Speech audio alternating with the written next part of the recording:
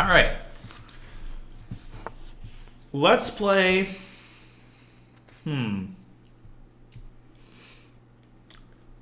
Well, let's play Sicilian. Let's play Sicilian. Let's play Sicilian. And let's go back to an accelerated dragon, I think. Let's reinforce some of the concepts that we talked about in the five minute speed run. It's been a while since we played the accelerated, which is the, the gateway Sicilian that I recommend to most people in this rating range who are interested in trying out the Sicilian because it's not too theoretical, it's easy to learn, it features simple to understand development moves, and it can really lead to some really, really good positions if white is not careful. So of course we fianchetto the bishop, we apply immediate pressure on white center, and okay, c3 is already a mediocre move. c3 is a mediocre move. On the one hand, it's not bad because it reinforces the knight, and it takes some of the power away from the bishop. But on the other hand, it doesn't develop the knight. It takes away the c3 square from white's knight, and white's going to end up developing very, very passively. So how should we proceed with black? What, what should we do? And there's no need to reinvent the wheel here. The moves are very straightforward, which is one of the things that makes this quite uh, quite appealing. Of course, we go knight f6, and then we castle, and then we go d5. We don't even have to go d6 in most positions. Okay, he blunders a pawn. There's no reason for us not to take this, and already this is bearing fruit. Knight takes c4, and we have, okay, bishop takes c6. That's not great. He's moving his bishop twice, taking him for a knight that, that's only moved once.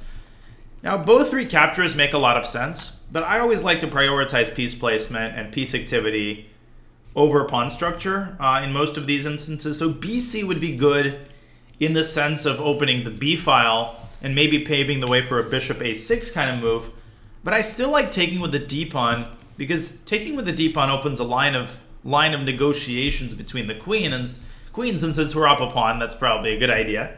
In addition, it opens up our bishop along a more uh, juicy diagonal. So let's play d takes c6. We also have the two bishops as a sort of as a unit now. So opening the center would make sense. Thank you, Anti Reborn. Okay, castles, we're, we're going to castle as well. We don't need to do anything with this knight. It's perfectly well placed. It's undefended. We should be careful about it, but there's no way for him to fork it with anything. Everything else is defended. Knight d2. What else? All right. So we can trade knights. There's no reason not to. But if you want to play particularly, you know, in a particularly spicy manner, uh, you, we can also keep the knights on the board because his knight on d2 is a little bit passive. It has no clear prospects. Our knight is in the center. It's it's very you know very jumpy. It's very flexible. It can jump to a lot of good squares. So one move that comes to mind is to bring it back to f6 and then reroute it to either g4 or d5. A lot of people might not consider this move because it's a retreating move, but again, it's a retreating move in name only. We're going to redeploy it on a, either an outpost or, or on a very strong g4 square. Uh, and by keeping pieces on the board, we're making it harder for him to, to breathe. All right, knight c4. Uh, now we need to be looking for active moves with our pieces. His knight on c4 feels quite a, quite a bit loose. So, yeah, queen c7 is definitely a good move, aiming at this pawn and preparing knight g4. That's one way to play. That's definitely one way to play. What else comes to mind? What other moves can you guys generate? I just want us to get into the habit of generating reasonable moves in such a position. So bishop e6 wouldn't be great because he can take the bishop and ruin our pawn structure. I see Migar mentioning queen d5. That's the move I had in mind. De uh, deploying the queen into the center and attacking the knight. Um, knight h5, I don't really see the point of that. You're putting the knight on the rim. Knight d5 is a great move. Well, let's play, you know, let's play the move that keeps the tension. Let's play queen to c7. I always like putting the queen on this sort of in this envelope because this construction is universal across many openings and it's very good. The pawn on c6 guards against moves like knight b5 or knight d5, and the queen on c7 is very, very safe. Okay, so queen f3. He wants probably to play bishop f4 and attack our queen, which is something that we can try to cut into with what move. If we if we use our calculation here, we can find a good way to not prevent bishop f4 entirely, but take the sting out of it. One good move is knight to d5, absolutely. That's a great move, yeah. Centralize the knight, stopping bishop f4. Knight g4 would have also been good. Um, and now we are ready to push our central pawns. An idea that immediately comes to mind here is just to play e5, f5, and e4, right? All right, so he goes rook 81. Should we take the bishop here or not? It wouldn't be a bad idea to take the bishop, but I don't really see the point in that. I like the placement of our knight. I think it's incredibly strong piece in the center. So the theme of this game is sort of keeping the tension, not trading unless you absolutely have to. And it's time, I think, for us now to start executing the main kingside plan. Well, the knight is strong in the center, it's controlling a lot of squares, it's defended by the pawn, and it's blanketing our position. Now, some of you are attracted to the move h5, which creates the threat of bishop g4. I get it, but you can meet it with h3. h5, h3 doesn't really benefit us because that weakens black's kingside unnecessarily. If he misses the threat, then it would be justified, but I don't necessarily like playing like that. So I think it might be time for us to start executing our main central strategy, by which I mean what? Yeah, so let's start with e5. Let's get his knight out of out of d4. And then we can play f5 and perhaps either e4 or f4, just ramming our pawns right down his throat. Notice that his queen is incredibly vulnerable here. It's just, it's not very well protected in contrast to our queen, which is hard to get to. And his pieces in general are like bowling kegs. You know, you're just rolling, you know, you're rolling the bowling ball down. Um, he, his pieces just are, they aren't anchored. They aren't very well anchored so we keep pushing them away with our pawns. Our pieces are very well anchored, either because they're so far away, or in the case of our knight, because they're well protected by a pawn. Knight b5, we would take it. Knight b5, we would take it and attack his other knight. So I get the point, but yeah. So bishop c5, all right, that's a good move. And we need to move our rook. Where should we move it?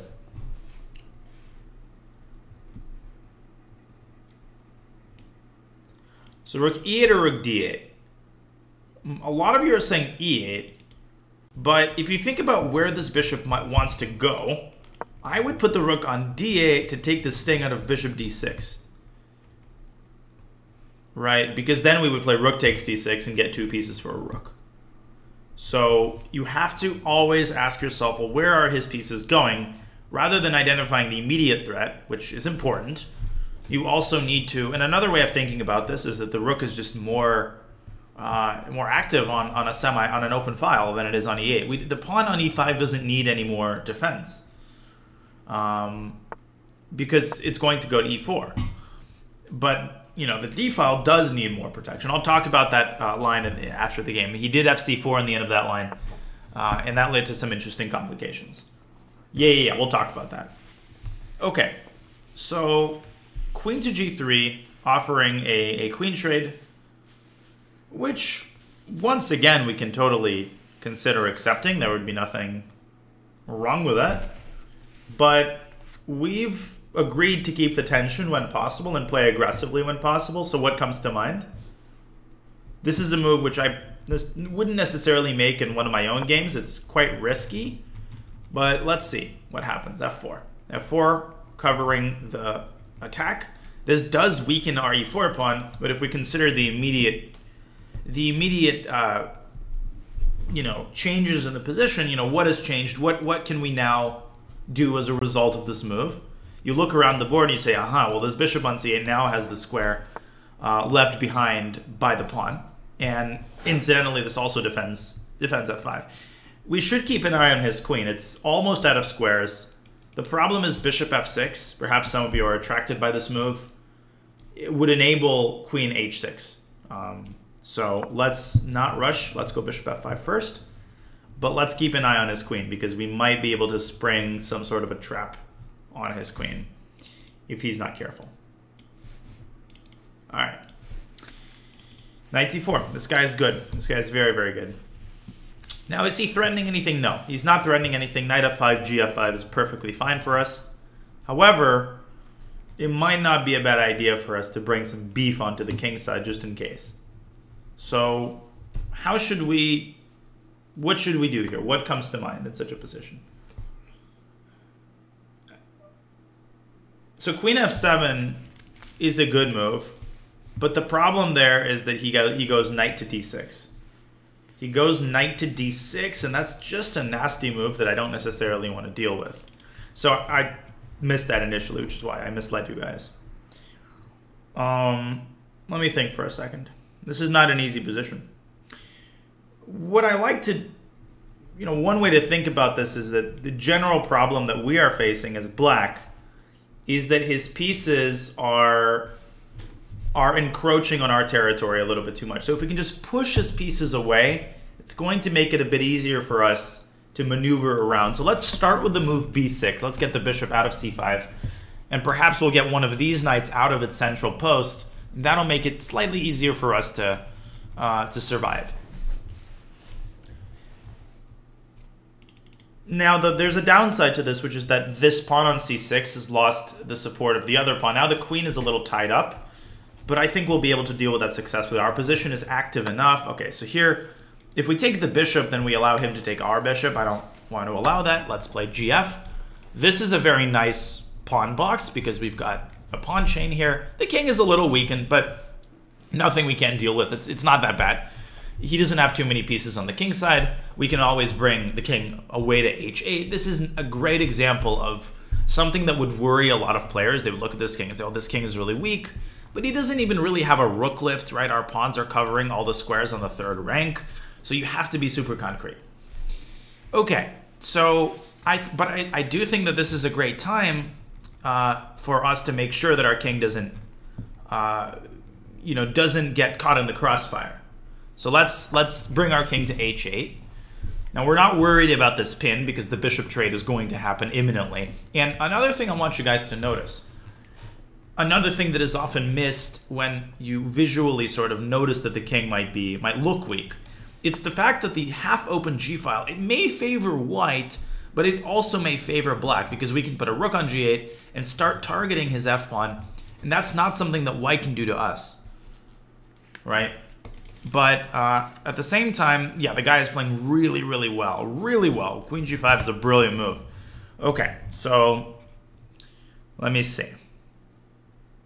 He's attacking this pawn. I think we should defend it. Let's go rook f8. Yeah, rook f8 to defend the f5 pawn. And the best option for him would be, I don't think he's going to see this, but to trade everything and then go knight to e5 at the end exploiting the weak c6 pawn. That would potentially win potentially win back the pawn, but that's a very advanced idea. Very advanced idea. So let's see. He does take, and whoop, blunders the queen. Knight d6 is a bit of an odd move. That's a GM idea for sure. I, I, I don't like it when we immediately jump to conclusions, guys. If this guy makes a couple of good moves, that doesn't mean anything.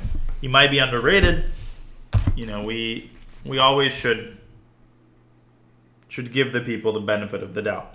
Okay, let's go f3, target the pawn, creating the uh, creating the laying the groundwork for a lobster pincer mate. So what should we do now? How do we orchestrate the lobster pincer mate? Just what is the most clinical way of doing it? And this, you often kind of see this when you keep the tension. It's, it's like eventually, yeah. So between these two moves, I know that it doesn't matter when we're up a queen, but when you're not up a queen, it's uh, it's a good idea to play queen g4 because if you play queen h5, then he plays h4 and we have to waste another move. Queen h3, and now if you've done your puzzles, you'll know what the pattern is here. He stops the lobster pincer mate, but but uh, in doing so, he locks his king up, and now there is a very typical idea and a very pretty idea to go rook f6, and either to lift the rook up to h6 and give checkmate, or as I'm sure you guys are very well aware, we begin with a what? We begin with a queen sack and then end the game with rook h6 checkmate. It's nice, it's common, it's typical. The rook on g1 is the instrument of his demise, right? It blocks the king from escaping. It's nice. That's a good uh, it's it's a good tool in your toolkit because sometimes you don't have time to complete the rook lift. This saves the tempo because it comes with check. Okay, that was a nice game by our opponent for sure. so the opening went very well for us. He he went c3, which is subpar, and then bishop b5 is very bad. The way to play for white here is to go knight to d2 and at least defend the pawn. And then we castle, you know, generally speaking, people bring the bishop out, and then you go d5 in one fell swoop. Black's got a great position here. We've had this type of position in the five-minute speed speedrun a million times. And, um, you know, this kind of stuff is easy to play, good development, etc., etc. Um, so bishop b5, he blunders the pawn. And again, this is a decision which, you know, can be made either way. You can play bc to, to get more you know, beef in the center. That's probably the better move, honestly. DC is the move which is easier to play because you're opening up the bishop, you're opening up the center, uh, and we're already up a pawn. It doesn't matter too much. Okay, so castles, castles, knight d2. And we decided to keep the tension here. Knight back to f6. This knight uh, potentially rerouting. Knight to c4, we decided on queen to c7, aiming at h2 and paving the way for knight g4. Once again, there were other moves here. Queen to d5 would be a fantastic move to uh, attack the knight.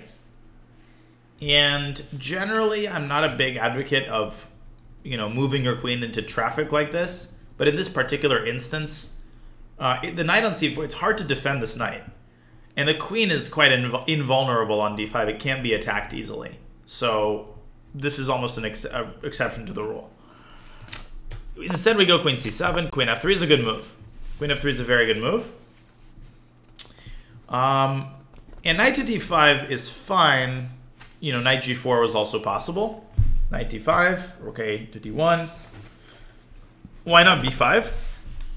Because b5 is a good idea, but it weakens the c6 pawn. We ran up against this in the game. He would go 95, and all of a sudden this pawn on c6 is incredibly weak, and if you push that pawn, well then you drop the pawn on b5. You got to be very careful about these kinds of drastic pawn movements because they usually leave behind weaknesses. Knight d5. Okay, so now we start pushing our central pawns. e5, f5. Now we go rook to d8. And again, rook to e8 would have allowed him either to go bishop d6 or even more unpleasantly, knight d6. Not the end of the world. And in, in the context of the specific lines, maybe this would have been even better for black than what we did. But my idea was to defend the d6. So now we could have played e4. Yep, e4 was very much possible, attacking the queen. 100% possible. Uh, and probably even better than what we did. I, I, honestly forgot about e4. I forgot about e4. I forgot that this just counterattacks the queen. Now, he would have moved his queen back and we would have had the same issue. Right here, you would have again had to decide where to put... You would have had to move the rook eventually. Uh, but e4 would have been a, a great addition, a uh, great intermediate move. What about rook f7? That's also possible, but again, it, it runs into knight d6 and stuff, so... Um, impossible. Yeah, it's impossible to anticipate. I mean, I couldn't anticipate that that that would have to happen later. Now, some of you with very sharp tactical vision indicated that bishop d6, which is seemingly refuted by this line, is very much possible because of c4. I saw this move and intended e4 in this position attacking the queen. And there was a detail that I anticipated here, because if the queen goes back to e2, black to play and make this line work. What does black do here?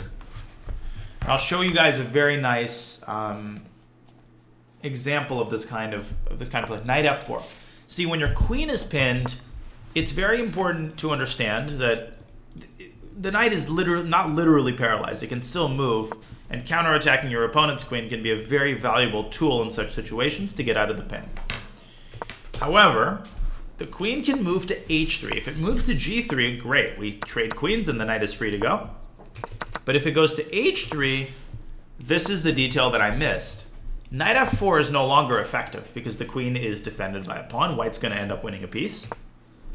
Black can play f4 though, and I think that there must, oh, there is a way to get out of this situation, yes. Black to play. Now we can't move the knight to attack the queen, but we can do something very similar. We have to understand that the queen on h4 is still undefended. So we use the queen to get out of the pin. Queen f6, typical technique. And if he trades, then we take with a knight, and our knight is is is fine. He can give us a check, but it's not dangerous. We'll, we'll get out of this situation. So you're able to see the various tools of getting out of the pin. If bishop f6, he goes queen h6, and uh, we can't trap the queen. You see what I'm saying, guys? You can you'd have to repeat moves here and then go queen f6, or or even queen e7 also does the same thing. Uh, I hope this makes sense. Okay. So I have a similar game for you guys afterwards. So e4. Now, in one of my games, I would have traded queens, but here we decided to go f4 and bishop f5. Pin your light squared bishop to your other rook. Yeah, it does. So in terms of how we would have gotten out of this scenario, there is a there there are two main ways to do it. The first is to try to get this rook away from d8, which could be hard to do because he could double. But the the main idea is to go b6 and bishop b7, right? So let's let's make a couple random moves. Let's say b6, whatever, bishop b7. He's got some tactics here with rook d7, but as a general concept, this is the way to get out of a pin like this. Uh, but here we could go king e7 and then try to intercept the rooks and try to get the rook away from d8. So it's a little bit more complicated than I had intended, but we would have been able to get out of it. So rook e1, e4, f4, bishop f5. Knight d4 is very nice.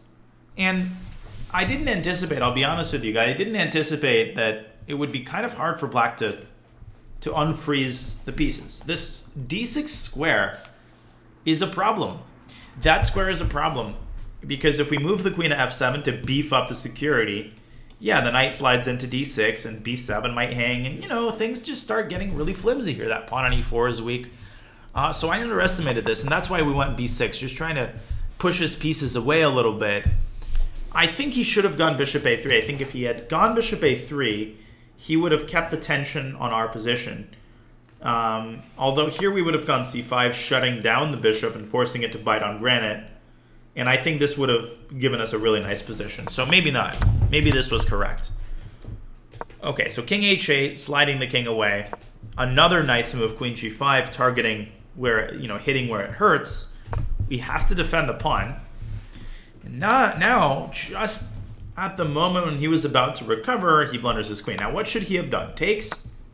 And now the moment the b6 is played, as I noticed to you guys, the c6 pawn becomes weak. That, that's a mental note that you have to make. The more such observations you make, the likelier it is that you're going to come up with the right decision later on.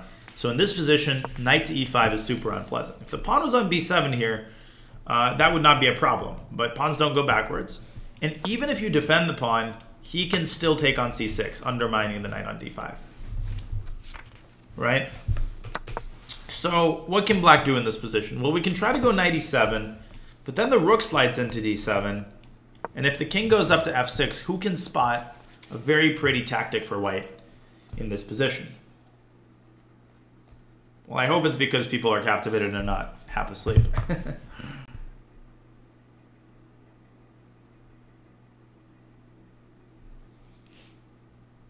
yeah, knight c6, rook d6 is a typical motif And, you know, I think black is still better here. I think this is how we would have played because black's rook now gets to d2. And these pawns, man, these are dangerous pawns. You could advance this pawn at e3 and get a passer. Black is still better here, but white gets good drawing chances in the endgame. But instead, of course, he made knight d6. I don't know, hallucinated. Maybe he thought he was going to give a fork on f7. Forgot about the rook there. Whatever it was, the tension pays off in our favor, and, and, and we won the game. So both captivated, but still trying to sleep. No, you should definitely sleep. But struggling to spot these tactics in the actual game, what are your advice on improving these? Well, that's where puzzles come in. There's no shortcut, there's no cheat code toward building pattern recognition other than to solve thousands of puzzles. And you also have to be mindful when you're solving puzzles, you know, and also game experience. You know, when you play a lot of games and then you analyze those games, the engine will tell you the moments at which you missed various tactics. And you might say, oh, well, I saw this in a puzzle and I missed that in one of my games. You know, what could I have noticed in the position to allow me to see something like this? Over the board games, in my case, you know, represented a large part of my experience. So I can think off the top of my head of just such an example. Like you see this tactic with knight c6, rook d6, right? Let's take a game that I played in 2005. um, where I remember having a very similar kind of tactic.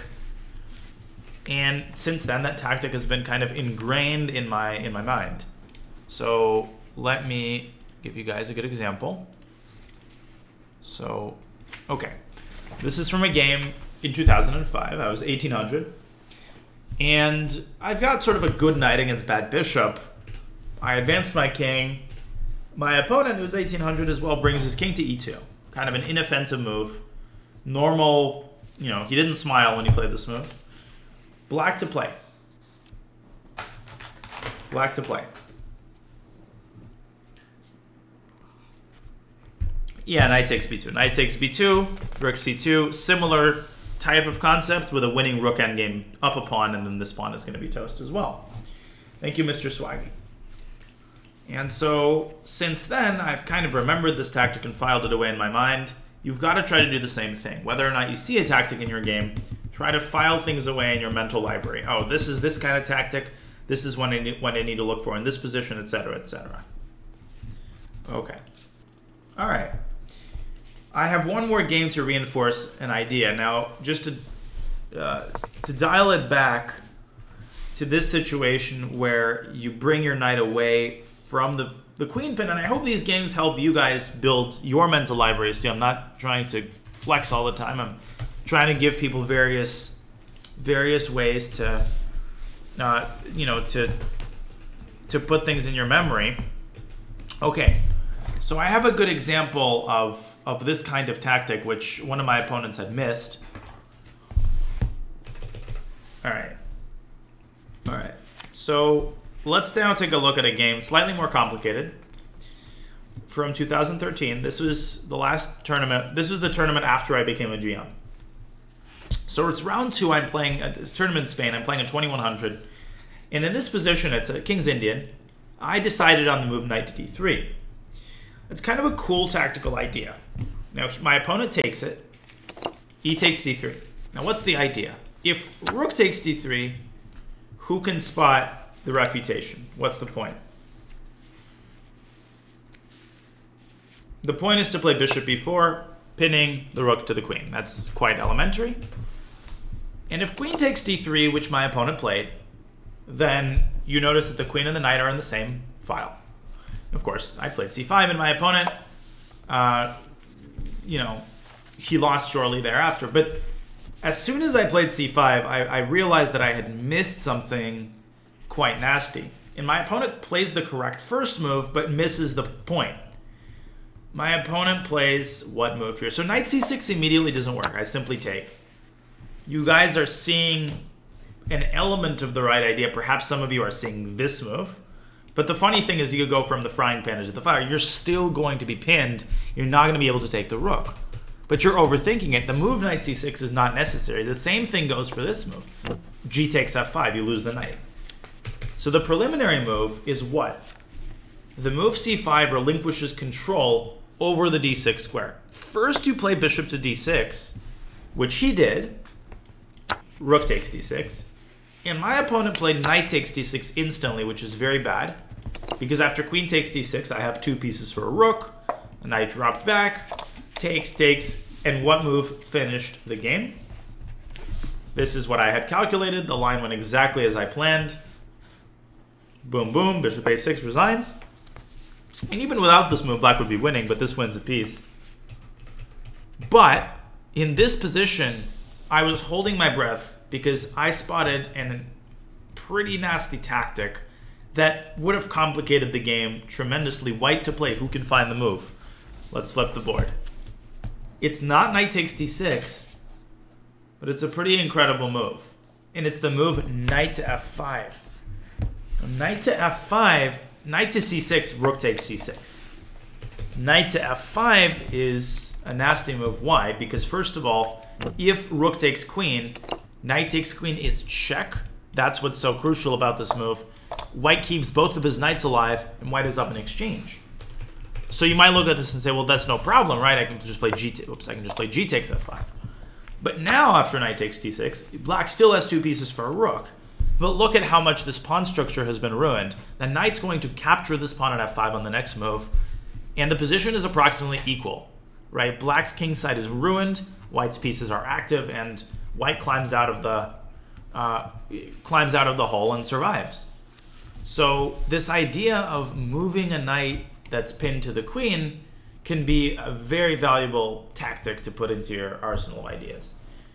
I miscalculated. Yeah, so bishop e4 is, is, is what I would have played. Even here, knight f5 is possible, but, um, but, but just moving the queen is also good because then you're going to uh, pry the bishop away with f3. It's, it's very complicated.